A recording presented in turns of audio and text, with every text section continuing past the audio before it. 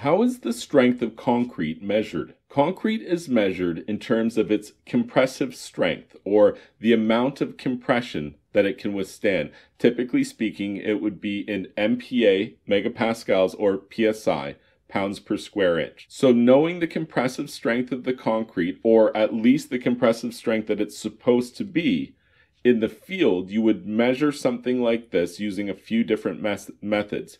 A non destructive method would be just to use a tool which hammers a little pin into the concrete and measures the compressive strength of it.